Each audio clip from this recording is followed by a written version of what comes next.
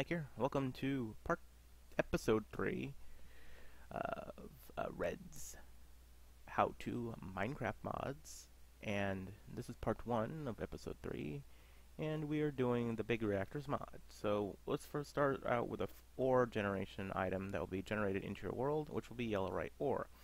You can find these pretty much anywhere when you're underground, and they usually come up in big clusters. Um, not as big as coal, but relatively large clusters because you're going to need a lot of this. In order to, to make an ingot, you take the yellorite ore and you stick it in a furnace with a fuel source and you get one yellow yellorium ingot. You can also, if you have a capability in your uh, mod pack or mod that you're using that has a pulverizer, you can also pulverize this down into uh, yellow yellorium dust and it does the same thing. It'll smelt down that way. And it's getting night. Yeah, blard. Anyways, the next item you're going to need is a graphite bar. In order to make a graphite bar, you either need coal, charcoal, or graphite powder in a furnace with a piece of fuel will give you one graphite bar. Both of these items you're going to need a good amount of. Mostly you're going to need a lot of yellorium, um, yellorium, yellorite or yellorium. I call it yellorite ingots in order to make the items for the reactor itself and this is the uh, reactor casing. This is also another item you're going to need a lot of, so which means you need a lot of graphite, a lot of iron, and a lot of yellorite, yellorium uh, ingots. I keep saying yellorite. I don't know why. Uh, I guess that's what I usually I call I call it that for some strange reason. But um, yeah, so this is this power source is a, a, very strong power source, but it's also an expense can be tend tend to be expensive power source as well you're to need, like I said, you're to need a lot of yellorium before you start this because half of it is going to go into making the reactor stuff, and the other half is going to be used into making um, the fuel. So, I mean, 64 ingots is going to last you a while for a fuel source, depending on what the type of power outage you're using and how big your reactor is going to be. So, as I said, you're to need a reactor casings, and that's the recipe for that. Uh, next recipe takes the reactor casings along with yellorium ingots, or yellow yellorium uh, four cornered pieces of reactor casings, two yellorium ingots, and a diamond in the middle, and a redstone will give you one reactor controller. The reactor controller is the brains of the operations, so that's an important piece. You'll need, at least need one of these and uh, one of these parts and one of those parts, and I'll explain more on that later. Um, next up item is a yellorium fuel rod. This is the power, this is where the fuel will go into, just like a nuclear power plant they have fuel rods that they put the uranium or whatever. Um, the recipe is iron ingots on the side, six iron ingots, two graphite bars, and a yellorium ingot in the middle. You'll also need this for other recipes as well, so be prepared for that as well. next recipe is reactor control rod. Um, reactor casing is needed again for the four corners. Uh, graphite bars and upside down bucket shape and a redstone piece in the middle and a yellorium, a yellow yellorium. Keep saying it. Whatever. I'm just gonna say yellorite from now on, guys. the yellorium at the bottom gives you one control rod. And You're gonna need one of these per uh, fuel rod setup because that is where it will control the uh, cooling system. Um, also, I'll explain that more when we get down to it. Next item is a reactor power tap. This is where you get, pull the power out of the reactor. And in order to make this, you need a reactor casing in the corners and a redstone diamond. Very simple recipe. Next up is you're going to need a reactor access port. You're going to need this. This will this is how you feed the fuel into the reactor. Again, four-cornered uh, casing, a chest, and a piston. Next up is the fuel reactor coolant port. This isn't really 100% necessary. I've never used it, but I'll explain it more. The recipe again is four corners of reactor casings, two iron ingots on the side, a bucket in the middle, and a piston on the bottom. What this does is you can feed coolant into your reactor via um, Ender IO or thermal expansion if thermal expansion ever puts its pipes back into its pack again. Um, next, or anything that adds can be let any mod that lets fuel be piped in. Um, almost any mod. I can't say every mod, but you know, good majority of them. Next item up is a reactor glass. You're also going to need this if you want to see inside your reactor, and it's two pieces of glass, normal Minecraft glass, and a reactor casing. Um, next up is a uh, cyanite ingot, and in order to do that is you need more yellorium and a piece of sand. Makes one cyanite ingot. Cyanite ingots are going to be more built towards making the um, turbine. I don't usually use turbines because what I make, the size I make usually for this big reactor, usually is enough to power me. But if you've got a multiplayer server and you happen to have mods on it, or you have a large group of, you know, small, well, still, or a large community that you want to power up, you know, with, with your mind, or not with your mind, but you want to power up a large community build, but you're only a single player, then maybe you want to think in turbines. But really, it's my opinion, it's not really necessary. But I'll explain turbines as well. And turbines is an, another recipe with four iron ingots in the corners, and replacing the yellorite out with a cyanite ingot, and then you have two nether quartz and two graphite bars. Again, this is going to be also needed like the reactor casing. It does also the same principle when you build it as well. The turbine glass does exactly the same thing. It makes glass. It's just the glass for the turbine engine. Um, ignore the empty spot. Next item is a blue blutonium ingot, and in order to make that, you need a cyanite reprocessor with at least a thousand uh, power, and that's what, what the redstone represents. One water bucket and one cyanite ingot. If you look up the recipe for it, it says a thousand mega buckets of water, and that's what a, a bucket is in Minecraft. Is a thousand millibuckets or mega buckets or whatever hell you want to call it. MBs. That's what one bucket equals to, and a cyanite ingot.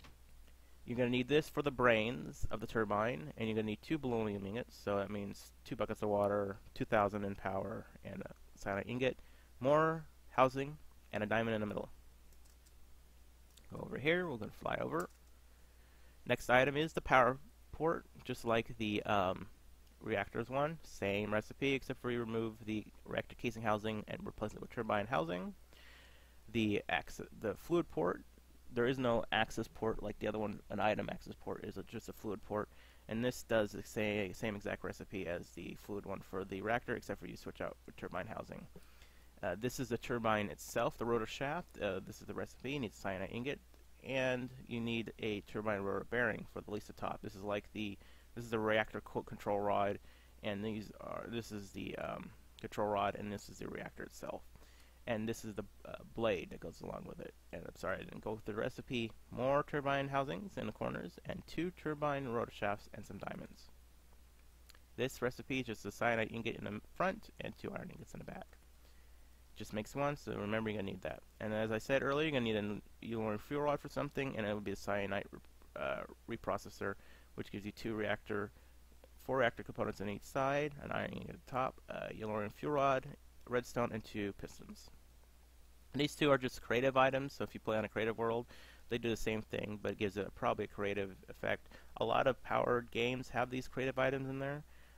I don't play much, enough creative to really use them, but I thought I put them there. There's no recipe for them, but that's what they look like. And last but not least is the Ludicrite block, which is a very expensive block made out of both blutonium, emerald blocks, another star, and two ender pearls. This is used as a insulator. I will put down in the wiki, uh, down below the wiki to the Feed the Beast. Um, the reason why I put that down below because it gives you a good comp good list of different um, cooling aspects to cool down your reactor, different uh, temperatures, and what does the best and what doesn't do the best. And they cover a lot of uh, different mods that are added in there. So let's go over to the reactor itself. Uh, a little signage here. The smallest reactor size is a 3x3x3 the smallest uh, turbine size is 3 by 4 by 3. So what that means is a 3 by 3 bottom plate, a 3 tall, and a 3 wide. I usually make a 5 by 5 by 5 because it's it it gives me the ability to add five control rods into it and and five uh, yellorium rods in there for fuel. Uh, this may be a little too OP if you're just beginning off in your world and you build this, you just might need one, but it gives you the space to expand into the other four. Um, trust me, certain items that will require a lot of power, like say a um, Ender quarry, does require a lot of power. This can provide a lot of power to the Ender quarry, um, and it can also provide power to the rest of your building and your rest of your um, machines uh, caveat for this, this thing only puts out RF power, so if anything uses anything other than RF power, you're going to have to use a mod specific power source within it. Say I, if you have a mod in your pack, like IE, IC2, IC2 uses MJs, IC2 provides its own power source. There are mods that add a power tap to this that um, would convert the RF to MJs, but the problem about that mod pack that I found, it's complicated as hell in order to create it, and I haven't found a good a good version to explain it to me. and so yeah, I'm not going to cover that mod. I think it, I'm not factorization, but something like factorization, where there's a power port in there, but the only way I could ever get it to work is I have to turn around and just cheat it in, and I never really used that. So if I have an RF, if I have both IC and something that uses RF, this will convert. This will be the RF power, and I'll do like solar powers for the um, IC2. So how does this work? Well, you take uh, a stack of you. It doesn't have to be a stack, but for uh, as many fuel rods are in there, I recommend a stack, and you insert them in there, and it leaves you with four uh, ingots left. So five takes up 60 ingots altogether. Five fuel rods. Um, you can add a coolant in there, and let's go get some coolant. Only basic coolant we have, so not lava, water. And what you could do is, as you can see here, you could see the look of this um, reactor. That's telling you that the reactor is complete properly. If you remove a block, you can tell it goes back to the normal reactor blocks, and it will should tell you what's the matter, why there's no uh, proper blockage. So uh, you could fill up the chambers like so with water, and they will in turn um, let me switch it today. They in turn will uh, help it cool it down more. Uh, the fluid port also does that as well. It injects fluid into the system to keep it cool. Uh, but you need a uh, piping and a, a pump source to pump it into. So, and that's about that's just that on the coolant system. And you go on. This is the GUI. As you can see, it's kind of cool looking. It actually would make you think it's a real nuclear power plant. It tells you the temperature and the millibucket per tick of heat uh, fluid or hot fluid output, uh, millibuckets per tick of uh, fuel burnup rate, and of course fuel uh, reactivity, how irradiated the items are. As you can see, we have a full um, core, everything's full, and then you have a casing heat, which is the outside, and then you also have the uh, core heat, which is the inside that you see inside the rod itself. Just works like a normal nuclear, like a, on the concept of an actual nuclear power plant. So, what this does, not only mostly nuclear power plants will have a device like this, which will heat up water, and then the water will be pumped into a turbine system. Hence, why they probably put a turbine system in there. But this also gives off power as its own, and it uses an energy buffer. As you can see, it's an RF. Uh, right now it's offline. If I go down to here, is auto eject the waste. I can have that on or I can have it off.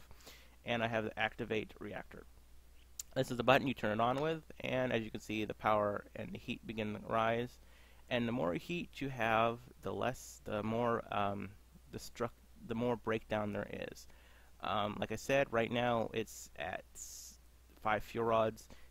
If you're just starting off, you're gonna just maybe need one fuel rod in order to do what you need to do um, let that turn that off and let that cool down so it doesn't uh, go Chernobyl on us. I do apologize if you lived anywhere near that, but that's the best way. Or Three Mile Island. There, there's an American version of the a, a, nuclear power plant going meltdown. But I don't believe it does that. It's just something that a nuclear power plant would do. Um, at the top, you can actually, if I can get back up here, use uh, control rods, which will actually lower a rod insertion, which will um, higher the insertion will slower the rate, and that's actually kind of how it works in a nu real nuclear power plant. So you drop it down or insert the rod, and it, usually they're cooling rods, which will slow the uh, decay and uh, the output of the reactor. Next up is a turbine itself. Like I said, I don't use these because really the more output that comes out of this, I don't find any need for any more than that. But this is just will expand your output. Um, this is a 5 by 5 by 5 by 5 as that is. I actually have the coolant port on the side, uh, the fluid port for this inject into this. And what a turbine does is you'll take uh, hot steam or hot water and it'll run through and go against the blades. And the blades, blades will cause friction and that turbine will power the output just like in a normal nuclear reactor. So, but I don't use this so I probably missed out on a lot of things saying, you know, what this does, what this doesn't do, and so forth and so forth. But I, like I said, I don't ever find a use for need of a turbine, and I just broke it. I went to punch and show. I don't use this all that much. This is more than enough power for my simple needs when I play modded. Because like I said, usually when I play a mod pack, it's going to have probably IC2 in it, with a good majority of chance of having IC2 in it. So I'm going to have two power supplies, this, and then a nuclear power supply another nuclear power supply or a solar panel. Okay. Hope you guys enjoyed. That's it for me today. Um, leave a like, uh, comment down below. Um, if you miss, if I missed anything, please let me know down below. Um, uh, let's see, dislike if you didn't like this episode, uh, and uh, subscribe if you really enjoy this and you want to see more. I'm not, you know, looking for anybody to force anybody into subscribing. So, you know, views are great. I don't particularly. Subscribers are also great too, but there's benefits. So, anyways, hope you guys enjoyed, and uh, stay tuned for part two. Bye bye.